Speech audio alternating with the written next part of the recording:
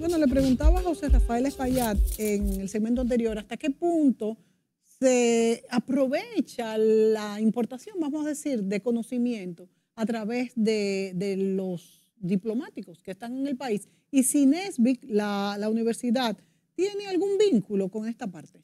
Sí, sí, precisamente estamos a cargo de la profesionalización del sector eh, del servicio exterior y del personal de la sede del ministerio, también de otro ministerio, de la sociedad civil, en todo lo que tiene que ver con los aspectos, los aspectos diplomáticos. Nosotros desarrollamos eh, una estrategia de educación continua, muy intensa, donde damos cursos especializados en diferentes tipos de diplomacia, diplomacia científica, como es este el caso, diplomacia cultural, diplomacia económica, diplomacia del medio ambiente, eh, diplomacia eh, de los derechos humanos. en fin, tenemos alrededor de 23 cursos cortos, entre 20 y 25 horas, que damos a, nuestros, ofrecemos a nuestro, al servicio exterior básicamente, para que sentar una, línea base de conocimiento que permita que nuestros diplomáticos, independientemente de su fuente original de conocimiento, su preparación, pues puedan tener información básica para poder eh, evaluar las oportunidades donde están eh, con, propiedad. Además, la diplomacia ha cambiado mucho en términos del perfil del, diplomático. Antes era mucho ligado a todo lo que son los derechos, derecho internacional, o, más eh, también en términos de, todo lo que es las negociaciones eh, consulares, ese tipo de cosas. Hoy día ya, ya el, perfil del ingresante es otro.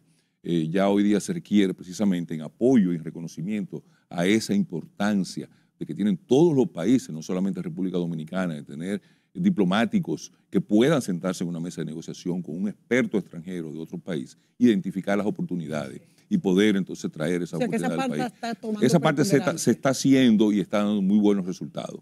Eh, es eh, algo que eh, nosotros vemos con mucho potencial para nuestro país y lo estamos pues implementando de esta manera. Eso es bien importante. Entonces yo le pregunto a Víctor Gómez, Víctor, para cerrar un poco este, este tema e irnos de nuevo a terminar con lo que es el seminario, los desafíos para la República Dominicana, que definitivamente somos uno de los países que más ha crecido en los últimos 10, 15 años.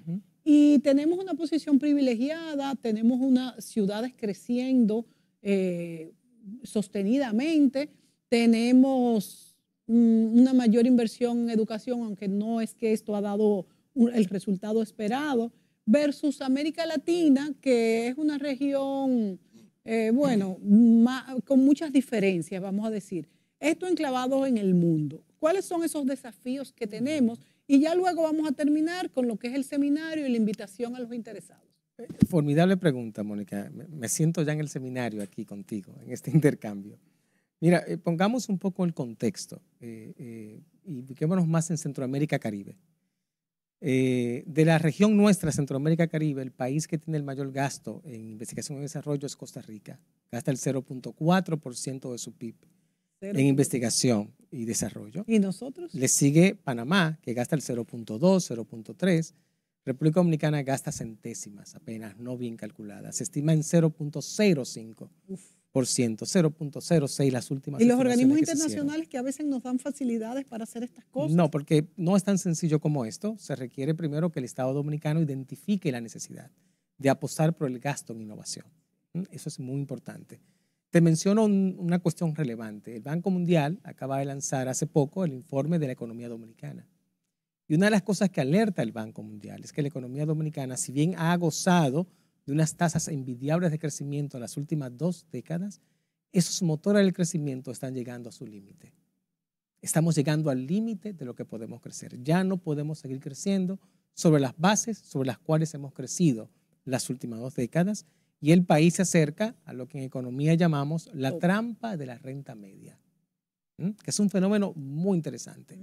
En la trampa de la renta media, una economía queda atrapada mucho tiempo porque no puede dar el salto de los ingresos medios, que ya somos, a los ingresos altos. Porque simplemente la economía no puede crecer al ritmo de otras economías más innovadoras, pero tampoco crece con economías menos innovadoras como la nuestra. Esa trampa de la renta media solo se puede salir de ella Con tecnología. con tecnología y con innovación. A ver, el presidente de la República acaba de lanzar un desafío de duplicar el tamaño del PIB al año 2036, me parece. Pero ¿cómo se duplica el tamaño de una economía? ¿Cuáles son los motores de ese crecimiento económico? ¿Qué sectores o en cuáles sectores vamos a apuntalar ese crecimiento?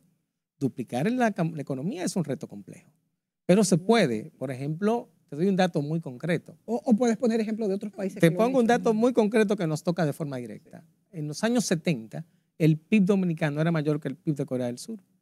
Ah, bueno, ahí está. ¿Mm? Era mayor que el PIB de Corea del. Sur. ¿Y Principio de los es ahora el 70. de Corea del Sur? Absolutamente, es unas 20 veces el PIB de la economía dominicana. O sea, es ¿Cómo lo impresionante. hizo? Tecnología, Gasto en I más D. Innovación. Gasto en innovación, Sí. apuesta a la ciencia y la tecnología. El turismo, todo esto nos permite crecer, pero no nos permite crecer de forma tal que se disparen. Y es un crecimiento que no depende 100% de nosotros. Claro, ninguno depende, Depende- 100%, no, pero depende mucho menos. Genera empleo, no riquezas. Pero ahí, ahí vamos al otro tema. es como las remesas. Eh, eh, vamos al otro tema, es, es lo que llamamos el, el crecimiento endógeno. Potenciar el crecimiento endógeno. Y eso implica crear capacidades, ¿eh? transferir conocimiento. El país quiere, te, te doy otro dato muy concreto. El Departamento de Estado acaba de incluir en la iniciativa de fabricación de semiconductores únicamente a tres países de la región. México, Costa Rica y Panamá. Uf, nos dejaron fuera. Dominicana le falta. El, el secretario de Estado que estuvo hace poco acá en el Pero país, yo pensaba que estábamos en ese camino. capacitación. Mm. Eh, La oferta que ha hecho el, el personal. Departamento de Estado es de entrenar a través de universidades dominicanas. Pero bueno, ¿cuál es el perfil tecnológico? Que perdimos muchas oportunidades cuando teníamos relaciones con Taiwán. Pero no Que te, nos no, no, no- no te vayas muy lejos. Y ahora con una China gran- podría hacerse. A ver, eh, el caso China es más complicado. Yo creo que el país tiene que apostar más a la integración con los Estados Unidos en ese tema. Mm. Sí, eh, por un tema de geopolítica y de estrategia. Hay una gran oportunidad con el nearshoring, el reshoring, que están en la ¿Tú agenda. crees que, le- que nos beneficia que Trump haya salido presidente en este Mira, yo, momento? yo no sé, to- todavía es muy temprano para decirlo, pero sí lo que yo creo que la, la urgencia que inició ya con la administración Biden de atraer otra vez la manufactura al territorio norteamericano es una gran oportunidad por nuestra cercanía con el mercado norteamericano de atraer inversión en tecnología, aprovechando el nearshoring y el reshoring americano. ¿Quiénes serían los responsables de darle seguimiento a estos programas desde nuestro país? Mira, ah, ah, eh, primero eso es un trabajo multi, eh, Ujú. multitarea, no es tarea de un único Totalmente. ministerio. Por eso es lo un- pregunto. Es un esfuerzo multitarea. Dominicana tiene que crear unas capacidades institucionales en ciencia y tecnología que actualmente son muy limitadas. Aquí la ciencia y la tecnología se entiende mucho como TICs, Sí. tecnología de la información y la comunicación. Y no, es construcción de capacidades para reforzar lo que llamamos capacidad de absorción tecnológica. Entonces aquí hay un desafío enorme con esto, porque eh, ciencia y tecnología aquí es más eso, es más TICs, cuando eso es una parte pequeñísima del tema de la ciencia y la tecnología. Sí. Entonces ahí hay un tema, una gran oportunidad que tiene el Estado dominicano de redefinir sus políticas de crecimiento económico. El Ministerio de Economía tiene que jugar un papel importante en esto, en la planificación. La Estrategia Nacional de Desarrollo al 2030 en su componente 3 ya prevé la definición de una economía innovadora. Al menos. ¿eh? Entonces hay, un, hay una política, existe. Entonces yo creo que ahí el reto es cómo tú integras las políticas públicas desde el Ministerio de Industria y Comercio, desde el Centro de Esa Promoción de y creas una articulación. que Ministerio de Agricultura. Agricultura, Sí. porque ahí tenemos unas capacidades El competitivas enormes. eso, pero todavía no veo nada Pero- pero tenemos Nos quedan dos minutos, Víctor. Una pregunta eh, para hacer, una pregunta puntual y luego Adelante. el seminario. ¿Tú crees que aprovechar la integración del, del su- la supuesta integración que va a haber Ministerio de Educación con Ministerio de Educación Superior, Ciencia y Tecnología pudiera ayudar, ya que esto es parte importante, esto, todo esto que tú has hablado del MESIT, para que tenga más presupuesto, pudiera quizás ayudar? Mira, eh, primero son agendas distintas. La agenda de la educación superior y la ciencia y la tecnología no comulga con la agenda en el tema de educación preuniversitaria. Son ámbitos totalmente diferenciados. Los modelos están ahí. Hay modelos en que la educación superior está con la educación preuniversitaria, pero el caso de España, por ejemplo, el Ministerio de Ciencia y Universidades. Por la articulación, esta triple hélice que te he mencionado de universidad, empresa, políticas públicas, ¿no? Eh, hay países en los que comulgan, pero la ciencia y la tecnología siempre tienen un espacio separado. México, que va a estar presente en el seminario, eh, debatió hasta hace poco, hasta el año pasado, si tenía un ministerio de educación superior, ciencia y tecnología y uno solo de ciencia y tecnología. Y se fue por el CONACIT, que lo elevó a Ministerio de Ciencia y Tecnología. Colombia transformó Colciencias en el Ministerio de Ciencia y Tecnología e Innovación Productiva. ¿Mm? Entonces, es muy importante. Es crítico. Entonces, pero eso depende de la agenda de desarrollo del país. ¿Cuál es mi horizonte? Bueno, queremos duplicar el tamaño de la economía, queremos crecer de forma competitiva, salir de la trampa de la renta media. Necesitamos todo un resetting del enfoque de las políticas. Yo creo, Víctor, que tenemos que hacer un programa solamente para desarrollar este tema, que es interesantísimo, necesario y, focal para el desarrollo de nosotros como país, nuestra gente, nuestra economía. Vámonos en este minuto que nos quedan al seminario. ¿Qué, ¿Quiénes son? Todo el mundo puede asistir, tiene un costo.